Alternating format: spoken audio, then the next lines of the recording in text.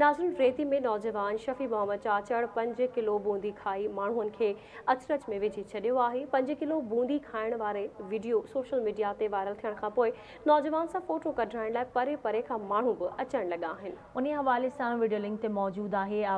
reporter Mohammad Zaman Chachar ji Mohammad Zaman ji नाज़रीन हिन वक़्तु असां सां रेती जो पंजवीह नौजवान शफ़ी मोहम्मद चाचड़ मौजूदु आहे शफ़ी मोहम्मद चाचड़ जेको आहे पंज किलो नुक़्ती हिकु टाइम ते खाई हिकिड़ो वॾो रिकॉड क़ाइमु कयो आहे असीं शफ़ी मोहन सां ॻाल्हि ॿोल कंदासीं इन खां पुछंदासीं त पंज किलो नुक़्ती खां अलावा शफ़ी मोहम्मद केतिरी जेको आहे मानी खाधी आहे ऐं केतिरी खाई सघे का शइ न थी साईं पंज किलो छा असां पंज पंज किलो किलो असांजे सम्झो आहे पहिरें ताईं असां टे किलो खाधी आहे उन खां पोइ वरी पंज खाधी अथई हाणे साईं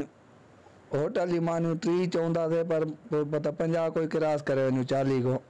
साईं मां जेकी हुजे दाल हुजे छोलो हुजे भिंडी हुजे जेकी हुजे घणा ई खाई वेंदा चालीह ख़ुदि क्रास कंदा त उहे ताईं घर ते ताणे अठ ॾह ताम खाधाऊं अञा ताईं मसाद आहिनि लिपुर उते मां खाधियूं मां घार जूं मानियूं तकरीबनि मां पंजवीह मानियूं खाई इलेक्शन में हिते थींदो आहे असांजे रेती में इलेक्शन पोइ असां माण्हुनि खे चवंदाऊं भाउ असां